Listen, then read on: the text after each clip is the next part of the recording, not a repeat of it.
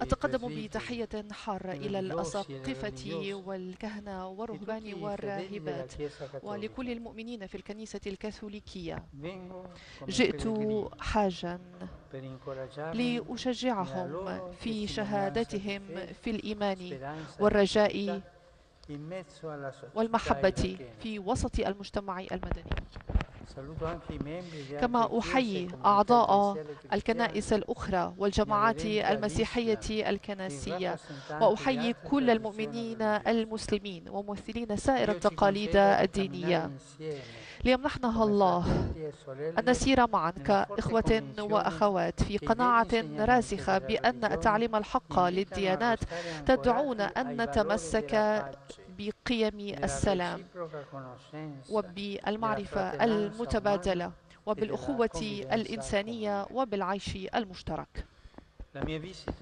إن زيارتي هذه تأتي في زمن يحاول فيه العالم بأسره أن يخرج من أزمة جائحة كوفيد 19 الذي لم يؤثر فقط على صحة الكثيرين بل تسببت الجائحة أيضا في تدهور الظروف الاجتماعية والاقتصادية التي كانت تعاني أصلا من الهشاشة وعدم الاستقرار.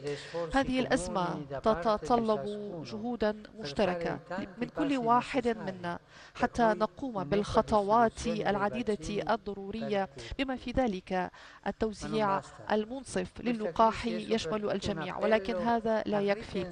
هذه الأزمة تدعونا لنعيد التفكير بأنماط حياتنا وبمعنى وجودنا هذا يعني أن نخرج من زمن المحنة. هذه أفضل مما كنا عليه في السابق.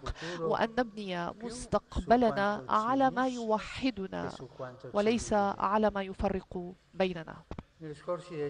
خلال العقود الماضية عانى العراق من كوارث الحروب ومن آفة الإرهاب ومن الصراعات الطائفية التي غالبا ما تقوم على الأصول التي لا تقبل أن تتعايش في سلام مختلف الجماعات العرقية والدينية بمختلف أفكارها وتنوع ثقافاتها. كل ذلك جلب الموت والدمار وأنقاضا ما زالت مرئية وظاهرة للعيان. وليس فقط على المستوى المادي فالأضرار أكثر عمقا من ذلك يكفي أن نتذكر الجروح في قلوب الكثيرين من الناس والجماعات. جروح ستستغرق سنوات لتشفى وهنا ومن بين الذين عانوا لا يسعني إلا أن أتذكر اليزيديين الضحايا الأبرياء لهمجية عبثية وعديمة الإنسانية. تعرضوا للاضطهاد والقتل بسبب انتمائهم الديني وبسبب هويتهم. فتعرضت هويتهم وبقائهم نفسهم للخطر. لذا فقط إن تمكنا أن ننظر بعضنا إلى بعض بوجود اختلافاتنا كأعضاء لعائلة بشرية واحدة. يمكننا أن نطلق عملية فعالة لإعادة البناء والإعمار وأن نسلم أجيالنا القادمة عالما أفضل أكثر عدلا وإنصافا وإنسانية. وبهذا الصدد فإن التنوع الديني والثقافي والعرقي الذي ميز المجتمع العراقي لآلاف السنوات إنما هو مورد ثمين نستمد منه وليس عائقا للتخلص منه. اليوم العراق مدعو ليبين للجميع وخاصة في الشرق الأوسط أن الاختلافات بدلا من أن تثير الصراعات يجب أن تتعاون في وئام للحياة المدنية. إن التعايش الأخوي يحتاج إلى حوار صابر وصادق. حوار محمي من العدل ومن احترام القانون. وهذه ليست بمهمة سهلة. يتطلب جهدا والتزاما من طرف الجميع حتى يتم التغلب على الخصام وعلى المجابهات. ينبغي أن نتكلم بعضنا إلى بعض انطلاقا من أعمق هوية تجمعنا هوية أبناء الله الواحد والخالق. واستنادا على هذا المبدأ فأن الكرسي الرسولي في العراق وفي كل مكان تناشد دون كلل.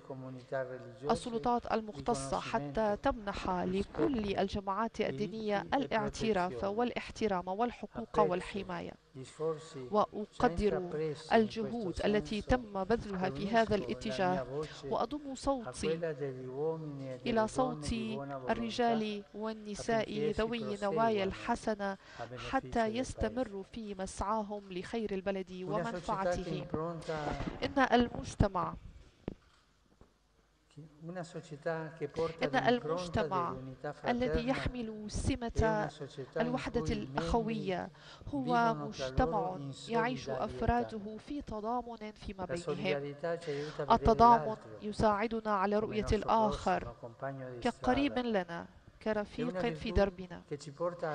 وهي فضيلة تحملنا على القيام بأعمال الرعاية والخدمة مع إيلاء اعتناء خاص لأكثر الناس ضعفا وحاجة. وأفكر بالذين فقدوا بسبب العنف والاضطهاد والإرهاب فقدوا أحباءهم. وأفراد عائلتهم منازلهم وممتلكاتهم. أفكر بكل الناس الذين يكافحون كل يوم بحثا عن الأمان وعن سبل العيش ليستمروا في حياتهم.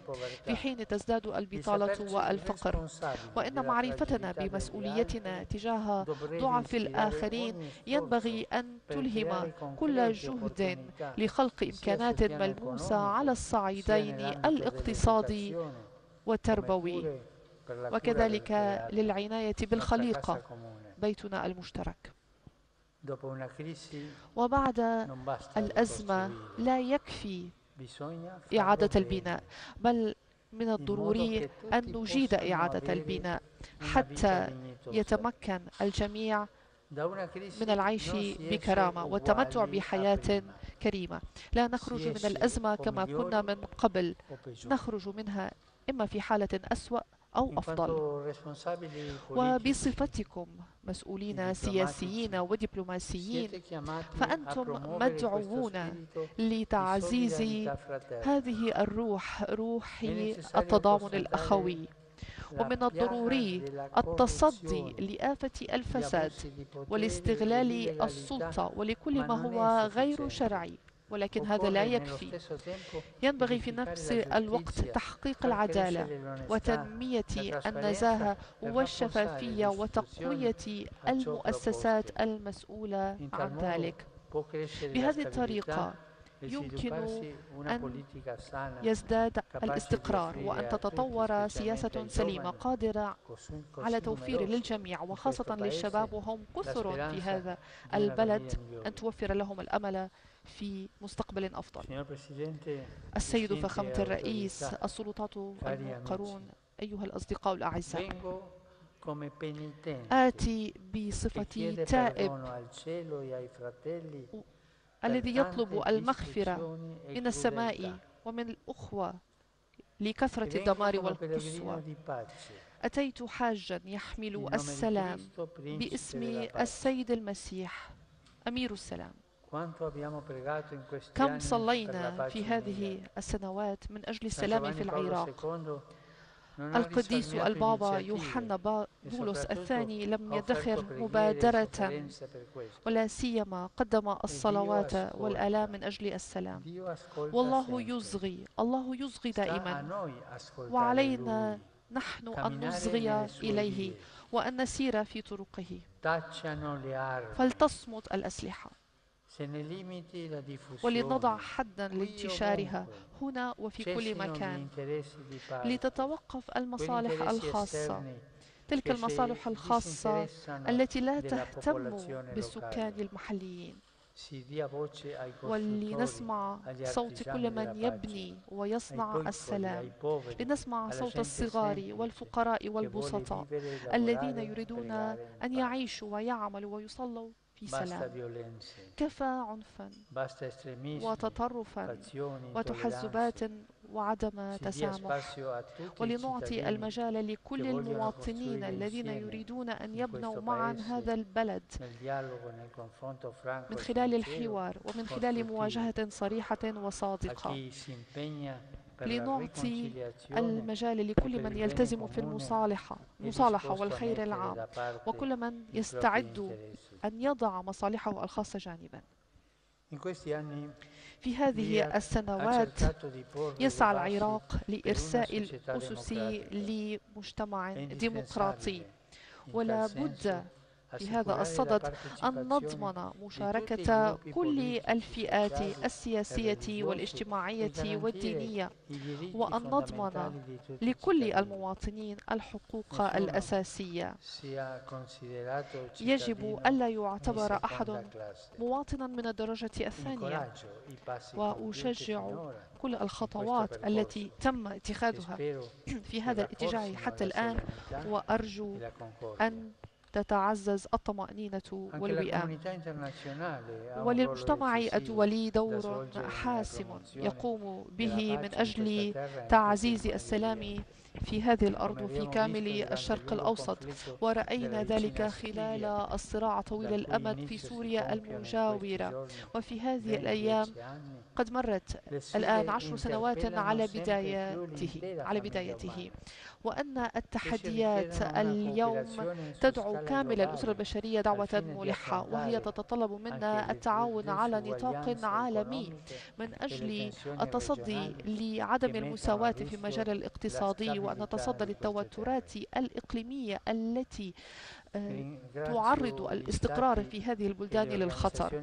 أشكر الدول والمنظمات الدولية التي تعمل في العراق من أجل إعادة الإعمار ومن أجل تقديم المساعدة للاجئين وللنازحين الداخليين والذين يصعب عليهم أن يعودوا إلى منازلهم لأنها توفر الغذاء والمياه والمأوى والخدمات الصحية والطبية في هذا البلد. كما تقدم البرامج الهادفة إلى المصالحة وبناء السلام. وهنا لا يسعني إلا أن أذكر العديد من الوكالات ومن بينها وكالات كاثوليكية التي ظلت منذ سنوات تساعد السكان المدنيين بالتزام كبير. إن تلبية الاحتياجات الأساسية للكثير من الإخوة والأخوات هو عمل محبة وعدل ويسهم في سلام دائم. وأتمنى ألا تسحب الدول يد الصداقة والالتزام البناء الممدودة إلى الشعب العراقي. بل أن تواصل عملها بروح المسؤولية المشتركة مع السلطات المحلية دون فرض مصالح سياسية أو إيديولوجية. الديانة. بطبيعتها يجب أن تكون في خدمة السلام والأخوة. إن اسم الله لا يجوز أن يستخدم لتبرير لتبرير القتل والتشريد والإرهاب والبطش. على العكس فإن الله الذي خلق الكائنات البشرية متساوون في الكرامة وفي الحقوق يدعونا أن ننشر المحبة والإحسان والوئام. وكذلك في العراق إن الكنيسة الكاثوليكية تريد أن تكون صديقة للجميع ومن خلال الحوار أن تتعاون بطريقة بناءة مع كل الديانات الأخرى من أجل قضية السلام. أن الوجود العريق للمسيحيين في هذه الأرض وإسهامهم في حياة هذا البلد. يمثل إرثا غنيا. ويريد أن يكون قادرا على الاستمرار في خدمة الجميع. إن مساهمتهم في الحياة العامة كمواطنين يتمتعون بكامل الحقوق والحريات والمسؤوليات. يشهد أن تعددية دينية وعرقية وثقافية سليمة من شأنها أن تسهم في ازدهار البلاد وانسجامه. أيها الأصدقاء الأعزاء أود أن أعبر مرة أخرى عن شكري الخالص لكل ما فعلتموه وتواصلون فعله من أجل بناء مجتمع يقوم على الوحدة والأخوة والتضامن والوئام. إن عملكم في خدمة الخير العام عمل نبيل. وأسأل الله القدير أن يؤيدكم في مسؤولياتكم وأن يرشدكم على طريق الحكمة والعدل والحقيقة. ولكل واحد منكم ولعائلاتكم وأحبائكم وللشعب العراقي بأسره. أسأل الله وافر البركات الإلهية. شكرا.